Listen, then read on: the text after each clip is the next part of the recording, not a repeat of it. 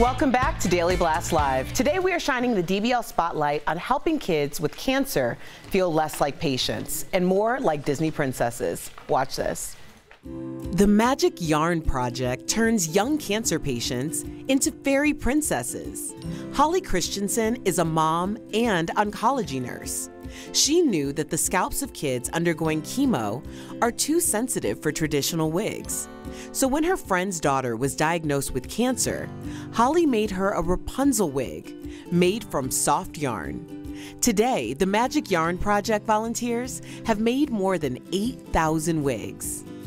And Magic Yarn Project founder Holly Christensen joins us now. Hey, Holly, let's get started. Now, as a nurse. Hi, how are you? Hey, as a nurse, what inspired you to make these wigs?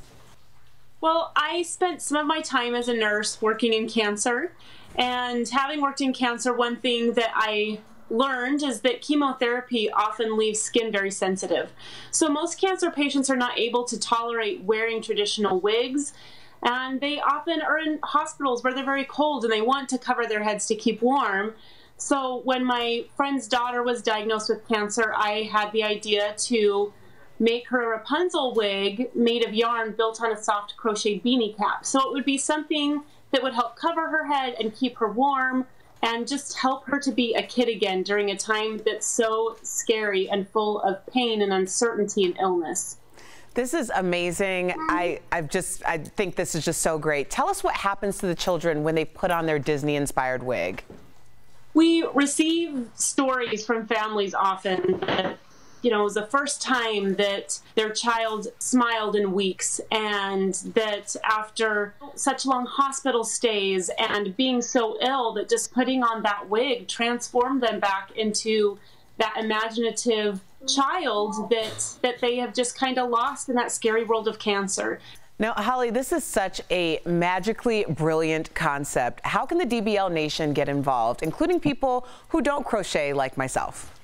So you can go on to our website um, and see the many ways you can get involved. We also are 100% volunteer operated and we operate strictly off of donations. So, so we appreciate, you know, even the smallest donations make a big difference in the life of a child battling cancer. Holly, thank you for being with us and what you're doing to make young cancer patients' lives just a little bit brighter. We are so proud of you and thank you for your time. Well, thank you so much for having me on. Oh my God, I no child should have to go through that, but to think that something, um, I don't want to say so simple, can help transform the child and make them feel confident and like a kid again is absolutely priceless. And I think they, it's okay to call it simple because they say true brilliance is, is simplicity.